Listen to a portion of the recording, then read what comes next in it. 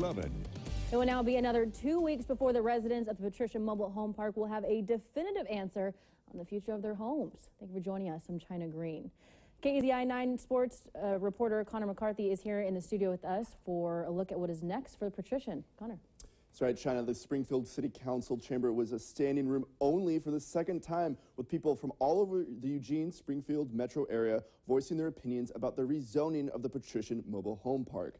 The City Council listened to over an hour of public testimony, with only one person in favor of rezoning the mobile home park. Congressman DeFazio even submitted a letter to the councilors in support of keeping the mobile home park zoned as low density residential. But the common theme tonight among the speakers is that the state minimum to pay out mobile home park owners of $8,000 is not enough to the true market value of their homes. The owner can sleep at night knowing that he paid us the fair market value of the home. We go away with more than $8,000 to buy another home. If you don't do this,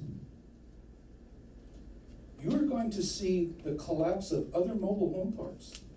Representatives of the landowner verbally re rebutted, saying the landowner can still close the Patrician Mobile Home Park at any time and redevelop it under the current zoning classification. And what's next for the rezoning application is now the landowner has until September 23rd to submit any written rebuttal of comments made during public testimony.